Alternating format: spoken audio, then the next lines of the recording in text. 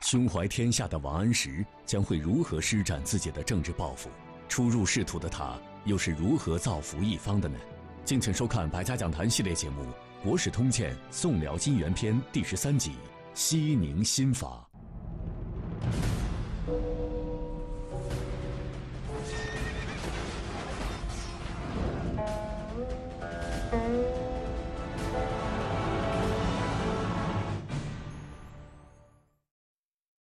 庆历新政，在一片质疑声中草草收场。这场由文人士大夫所发起，带着先天下之忧而忧，后天下之乐而乐的公心开展的新政改革，并未能在北宋君王与士大夫共天下的顶峰时期顺利推行，但是，它却在更深层次激起了人们对于求新求变的抱负与热情。那么，在庆历新政失败之后，大宋王朝还会进行哪些改革上的尝试？王安石又为何可以在变革的大潮中脱颖而出呢？江西师范大学教授方志远做客百家讲坛，为您倾情讲述系列节目《国史通鉴·宋辽金元篇》第十三集《西宁新法》。我们上一集说，千呼万唤始出来的。范仲淹的庆历新政，实际上不到一年的时间就偃旗息鼓。什么原因？第一个原因，他没有办法冲破多年以来宋朝所形成的那么一种上下安乐，尤其是形成的那种关系网、利益网，他很难突破，甚至无法突破。第二，我们上集说到。庆历新政的时间节点，它是在崇熙增弼和庆历和议之间所发生的事情。那么，庆历新政失败以后，偃旗息鼓以后，宋朝和西夏签订了庆历和议，用财富赢得战争，用财富换得苟且。所以宋朝的路子，它还可以继续走下去。用我们现在的一句话来说，能够用钱解决的问题，它就不是问题了。但问题是，万一钱没有了怎么办？万一发生钱荒了怎么办？何况宋朝的积贫积弱还继续存在。在庆历新政以后，仁宗仍然继续统治了二十年。在韩琦、在富弼、在文彦博、在欧阳修等人的辅佐之下，在位时间四十一年，成为宋朝历史上在位时间最长的皇帝。公元一零六三年，仁宗去世了，他的养子英宗继位。历史上往往一个很有意思的现象。时过境迁以后，人们往往对过去的好日子记忆犹新，甚至夸大回忆；而对于过去的苦难，往往淡忘。就像杜甫一样，安史之乱结束以后，劫后余生的杜甫回忆开元全盛日，说是公私仓令俱封之，九州道路无财富，完全忘记了开元天宝期间。一些重大的社会问题，包括举国上下寻芳作乐，包括皇帝和贵妃醉生梦死，包括流浪的灾民流落失所的问题，这些问题对于安史之乱来说几乎都不是问题，但是恰恰是这些后来被遗忘的问题，是酿成灾难的基本原因。宋朝实际上也一样。虽然时时感受到辽和夏的双重的侮辱和双重的压力，却又悠然的享用议和的这种方式，来继续度过那种安乐的日子。无论从经济的发展、文化的繁荣，民众生活的安乐和士大夫的休闲和雅士，绝对不亚于唐朝的开元天宝年间。但是人们又看到另外一个问题，就是那样强盛的开天盛世，一旦发生安史之乱这样天崩地裂般的事件，也把你的繁荣碾压的粉碎。所以宋朝的很多有识之士，一方面在过着闲雅的日子，但是另外一方面也不免仍然是忧心忡忡。如何改变清理新政以来没有改变的积贫积弱的问题？如何一反对辽对夏的这种颓势？实际上，社会还是需要改革的。但是我们刚才说，无论是仁宗，还是在仁宗时期的那些宰相们，他们经历过庆历新政以后，不敢轻言改革了。仁宗死了以后，英宗继位，身体多病，更加没有时间，也没有精力，没有勇气去做这件事。那么这件事情的出现，在宋朝，还必须等到。宋神宗的继位和王安石的横空出世，他新一轮的振作、新一轮的改革才重新开始。说到王安石，我们也得介绍一下，他有一个著名的外号，叫“六相公”。他是宋朝抚州临川人，也就是现在江西抚州人。从小好学，而且从天赋来说。他绝不亚于同时代任何伟大的人。《宋史》是这样说他的：说安石少好读书，从小好读书，一过目终身不忘，那太了得了。其主文动笔如飞，出落不经意，开始看上去好像看不出什么味道，继承见者皆服其精妙。这个精妙。不仅仅是文字的精妙，更主要是思想的深邃和他眼光的独到。所以我们看到任何的好文章，真正的好文章，都不是对于其词造，都是他的意境、他的立意的高深。庆历新政的前一年，也就是公元一零四二年，二十二岁的王安石以第四名的高名次。中了进士，中了进士以后，王安石先是做了一个官，叫签书淮南判官，就在扬州一带管理文书。到了庆历七年，做鄞县知县。鄞县在哪里？就是我们现在的宁波了。在鄞县待了三到四年，人们记载里头说。王安石在那里，三天一试试。什么叫做三天一试试？他不是天天上班的，他三天处理一次公务。大家说有这样处理公务的吗？他这样行不行？他能高喊吗？其他时间干什么去了？其他时间读书去了。那么他能不能干好这个直线？不是能不能的问题，而是干得极其的好。这就是人和人之间的不一样。我是在这里干了四件事，哪四件事？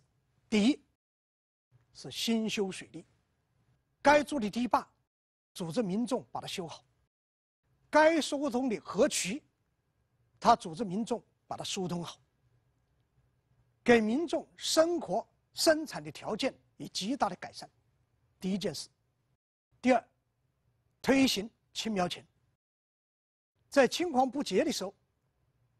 把库仓里头存的粮食和钱带给平民，等到收获的时候收本钱，然后收一部分利息。这样一来，避免平民在青黄不接的时候受高利贷的盘剥。政府是微利的，同时可以把旧的陈的米谷子带出去，而收新米过来。又解决了盘仓和倒仓的问题，所以一举而三得。第三，兴办学校；第四，治理社会治安。所以他在鄞县四年，好评如潮，民众极其的拥护。此后，王安石又担任了几个地方的职务，都是清民官。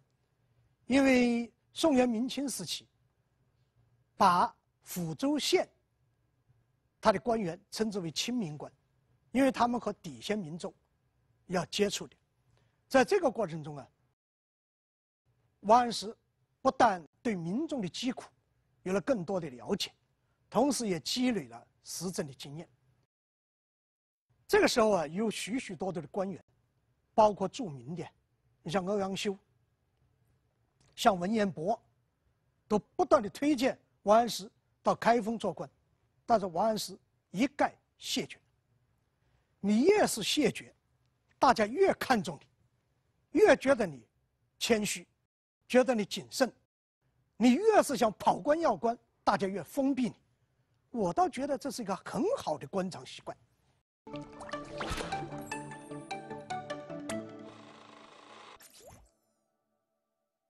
古训有云：“水能载舟，亦能覆舟。”自唐太宗李世民时代起，必须先存百姓的理念，就一直是治国理政的醒世恒言。在王安石看来，为官一任就要造福一方，所以在任鄞县知县时，王安石就将亲民作为头等大事，一切想民之所想，忧民之所忧，用最务实可靠的方法为百姓排忧解难。王安石所推动的一系列为民工程，不仅让鄞县百姓如沐春风，更是让大宋朝廷看到了新的希望。那么，王安石能否顺利地将自己的政治智慧推广到全国？在这一过程中，他又会遇到哪些阻力呢？一直到伦宗的嘉佑三年，也就是公元一零五八年，就像范仲淹的心理新政一样，在千呼万唤之中，王安石终于来到了开封。来到开封做什么？做度支判官。这个官位，韩琦也做过。那么，这是中唐以来形成的一种制度。唐朝中期，把原来户部的职务分成三块，叫户部、度支，还有盐铁，有的时候叫盐钱。那么户部啊，就专管人口、土地和税收两税；度支管国家的财政支出、预算；那么盐铁管。工商税收等等，那么王安石在这个职务里头，包括在自己过去的仕途的经历里头，开始越来越认清楚宋朝的所谓积弱，宋朝的所谓积贫，当然宋朝人不一定这样说的，是怎么形成的？也就在这个时候，他的一种抱负。他长期以来积累的一种想向国家献身和报效国家的这种愿望开始迸发出来，于是给仁宗皇帝上了一道书，这道书叫《严氏书》。由于这篇文章长达将近一万字，所以人们又把它称之为《万言书》。由于后来仁宗死了以后，庙号是仁宗。因此，王安石的这篇文章收集到极致的时候，又叫做《上仁宗皇帝言事书》。在这篇言事书里头，王安石可以说是详细谈了自己治国的理念，也为十年以后他推进的改革提供了一个思路和纲领。第一，王安石在这个言事书里头提到当时北宋所面临的问题。他认为问题在哪里？问题在财力日益困穷，而风俗日益衰快。我们看到的是财力的问题，根子实际上是风俗的问题。大家都追求享受，追求众乐，但是朝廷的财富在日益减少。第二，王安石认为，导致这两大问题的产生的根源是什么？是我们现在放弃了先王之政。什么叫做先王之政？王安石的先王之政，不是指秦皇汉武、唐宗宋子和宋朝的太宗、真宗这一代代传下来的法律，不是这个，是指二帝三王。什么叫做二帝三王？尧帝、舜帝和夏商周三代。他说，是因为没有执行这个先王之法。但是王安石显然怕别人说他迂腐，他表示，效先王之法，不是效他的行，而是要学他的神。第三，那么什么叫做先王之法的神？王安石这里头提出他理财的基本思想。后来的王安石变法，他的基本思想在这里出来了。他要怎么理财的？因天下之利，以生天下之财；取天下之财，以供天下之费。自古治世，就是自古那种治理的比较好的时代，这种人民太平、国家强盛的时代，这叫治世。未尝以不足，为天下之公患也。从来没有。说是有什么财富不够的，患在自财无其道耳。患在哪里？你没有理财的理念，没有理财的方法。这是王安石首次提出，因天下之利来生天下之财，取天下之财来为天下之废，这么一种思想。第四，那么要做到这一点，重在哪里？重在人才。王安石特别提出，现在不但朝廷之上缺乏人才，民间也缺乏人才。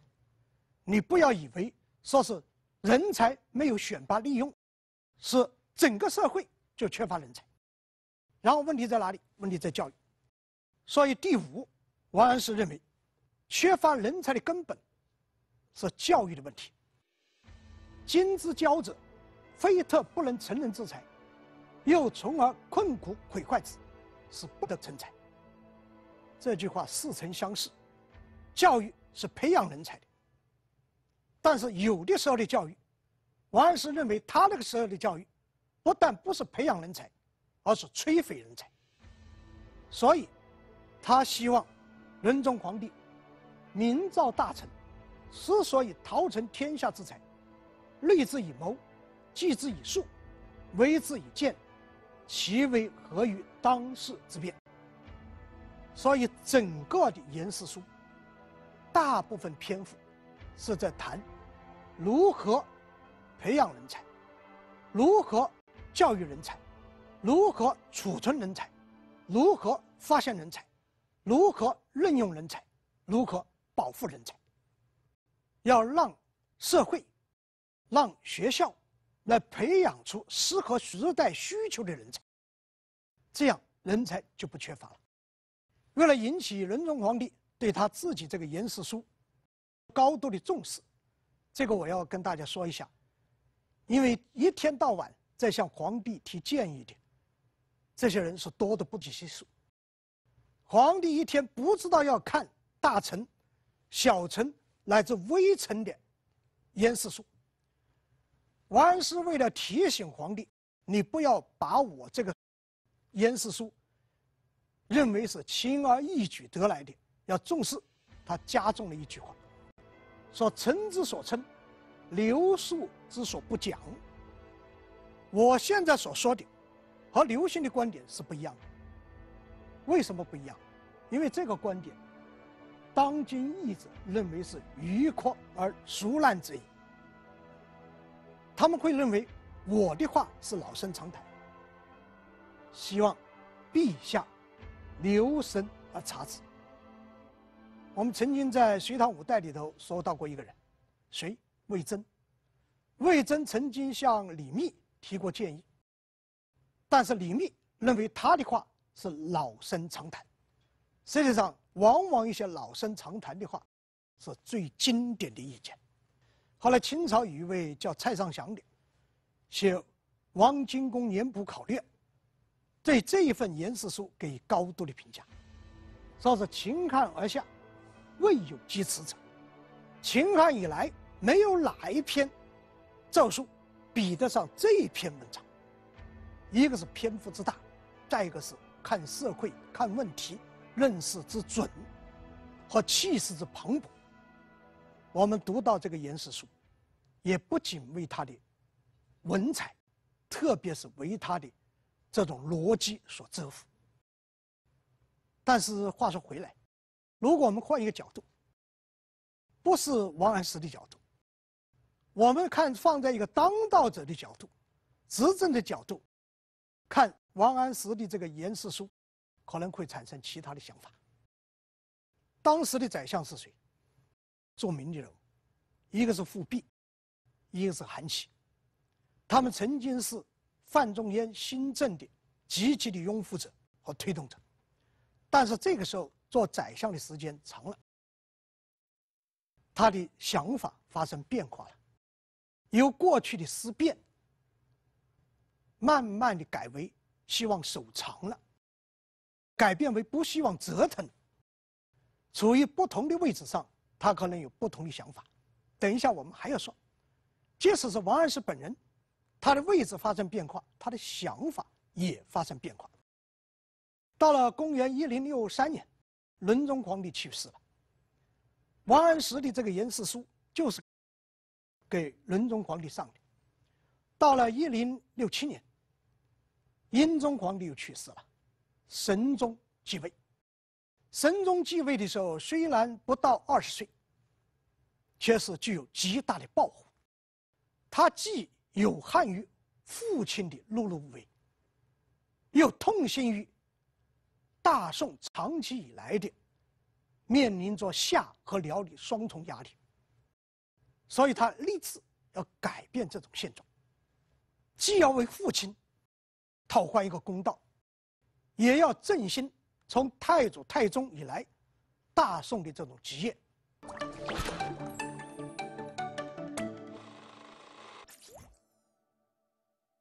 公元一零六七年，宋神宗赵顼继承皇位。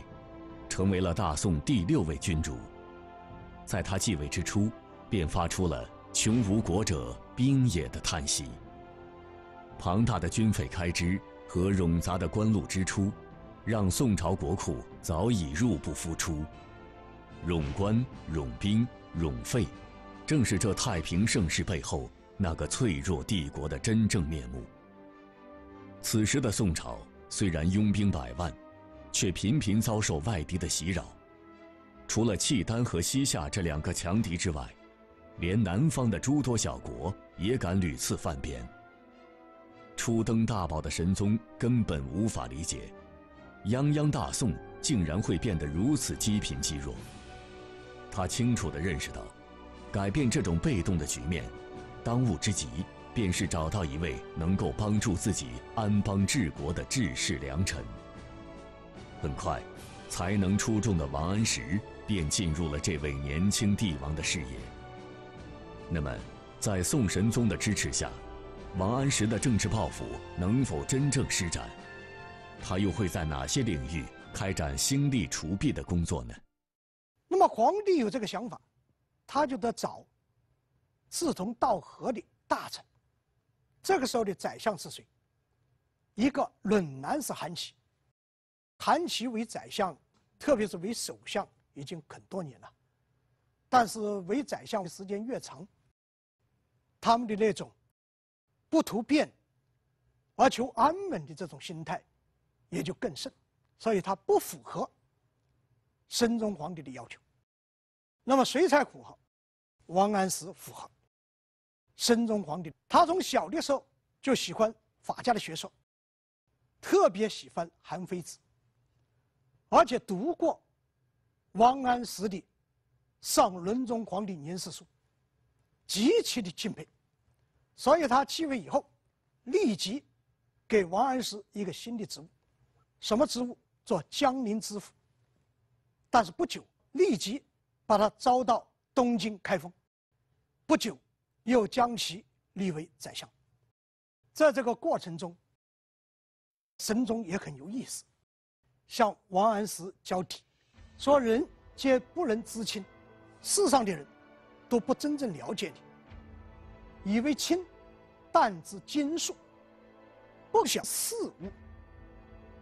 说你只知道学问，知道经术。”但是你不懂得人情世故，你做宰相、执政那是不可以的。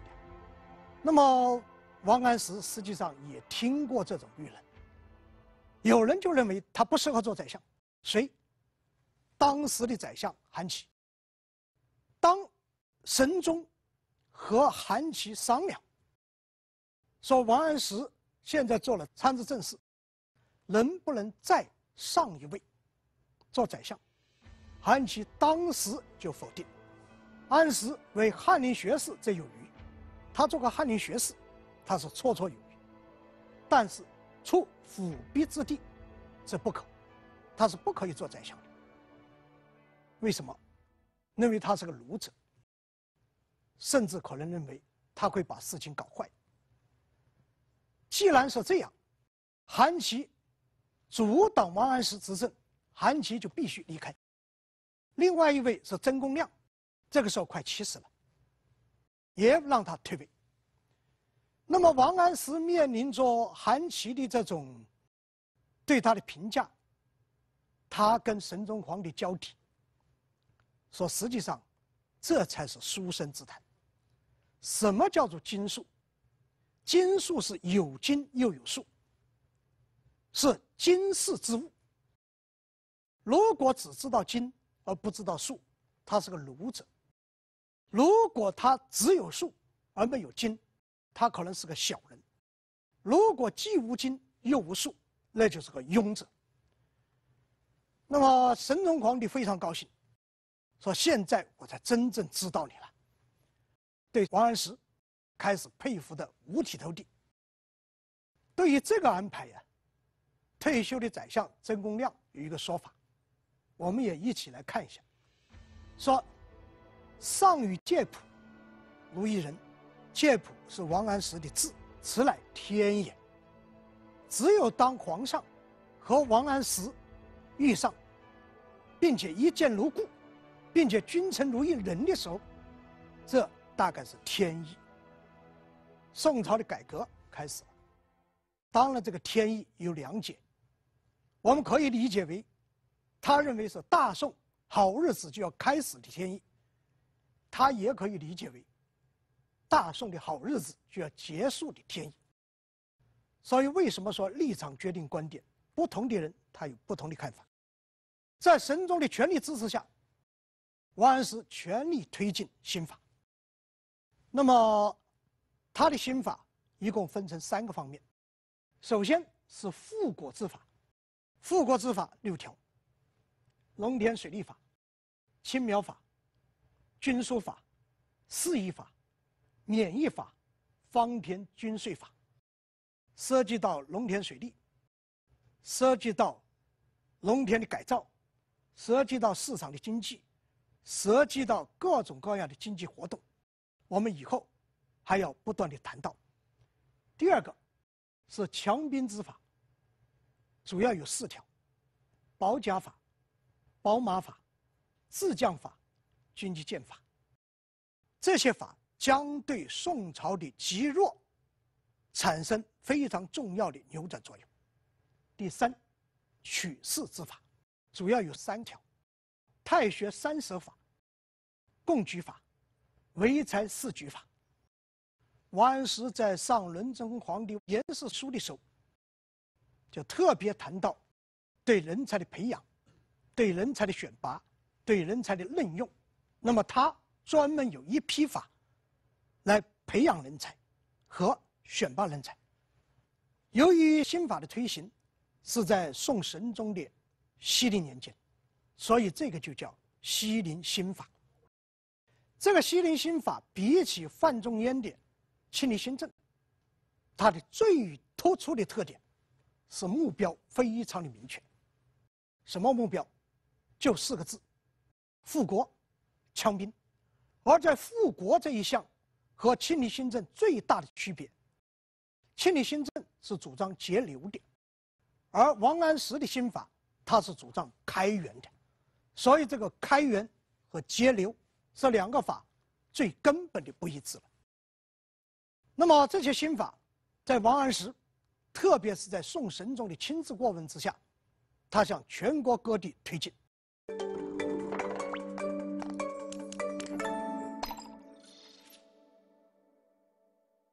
一个是雄心勃勃的青年君主，一个是胸怀天下的治世能臣。在改变大宋积贫积弱的困局面前，宋神宗与王安石产生了强烈的共鸣。宋神宗给了王安石无比的信任，而王安石也在宋神宗的支持下，终于实现了自己治国平天下的理想追求。以富国强兵为核心思想的西宁新法已经颁布，如三月的春风，使得原本暮气沉沉的宋朝重新焕发了生机。那么，王安石主持的西宁新法究竟在经济上取得了哪些成果？在实现富国目标的同时，强兵的愿望又是否能够得到实现呢？请继续收看江西师范大学教授方志远。为您倾情讲述系列节目《国史通鉴·宋辽金元篇·西宁新法》。我们先以青苗法为例，就一个青苗法，每一年所收到的青苗利息是多少？三百万贯。这个三百万贯什么概念？相当于宋朝全年两税的百分之六。大家说这不是比例很小吗？但是注意。这百分之六，一分一厘，朝廷都可以用的，它是机动经费；而两税的税收，它很多是一些固定的经费，它不是机动经费。另外，相当于北宋当时每一年海外贸易税的五倍，所以这个是非常可观的。如果我们看它的总体的成果，宋朝的人也有评价。一直到神宗去世以后，哲宗继位，人们编撰神宗的实录，有这么一段评价，说元丰间，年谷履登，积熟塞上，盖数千万担，而四方长平之前，不可胜计。余才贤则，至今蒙利。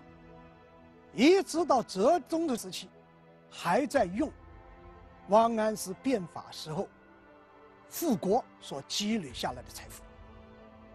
而元佑初年，也是哲宗时期，一位户部尚书，他提供了另外一个数据，说现今长平纺厂免于集盛钱，共五千余万贯，散在天下州县，贯朽不用。除现钱外，现在吴国富有二千八百万担皮等，粮食是用担计算，绢帛是用皮计算，积累下来多大的财富？所以他的复国的目的，王安石变法毫无疑问是达到了。另外，强兵也见成效。强兵见哪里？强兵第一，向西线。那么，王安石变法的过程中，在复国的过程中，第一个考虑点是要把一部分财富放在强兵之上，放在和辽和夏的对峙之上。这里出了一个非常重大的事件，叫做西河之遇。因为神宗和王安石都认为，自从李元昊以后，给北宋带来巨大边患的已经不是辽，而是夏，所以他把目标锁定在夏，但是不正面和夏发生冲撞，往哪里走？往西部开发。那么，主张这个见解的是什么人？一个叫做王韶的。江西德安人。那么王韶中了进士以后，由于常年在底层，他觉得没有发挥自己的价值，所以游历在西北边境，出入于汉民族、羌民族、党项族的部落和民居，对当地的形势有很多的了解。回来以后，王安石变法，他向神宗上了一个书，叫《平农策》。我们看看他这个《平农策》是怎么说的啊？说国家欲之西夏，当复河湟，河湟库，则西夏有腹背之忧。自唐乾元以后，吐蕃陷河龙，至今董真不能自筑羌，而人之为部，莫相统一，以以时并有之，以绝下人之右臂。什么意思？河湟在哪里？就是现在陕西、四川、甘肃、青海交界的那一线地区。那么这一带自从安史之乱以后，被吐蕃占据。但是现在吐蕃，它分为各部，董瞻就是吐蕃的部落首领，他没办法统一。各个羌族人之为部，如果在这个时候，我大宋把它统一起来，那么将斩断西夏的右臂。这个平农策和当年张骞收拾西域，它是一个思路。那么在这个思路的推动之下，神宗特别的重视，把王绍安排在陕西，而王安石清除一切阻挠王韶决策的这种官员。结果经过两年的时间，拓边两千里，设立六个州。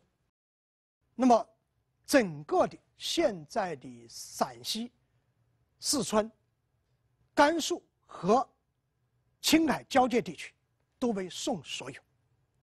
这可以说，自从平北汉以后，大宋近八十年所取得的最重大的军事胜利。而另外，在这个时候啊，安南也在闹事了。但是，同样的被已经在强兵的大宋，把他驱赶出去，不但驱赶，而且他还把自己的几个地盘献给宋朝。所以，王安石通过变法，宋朝不断的在富国方面，而且在强兵方面得到了明显的效果。不过，这里。又不得不提，当神宗去世以后，北宋的形势出现了反复，出现了翻盘。为什么这么说？我们下一集再说。谢谢。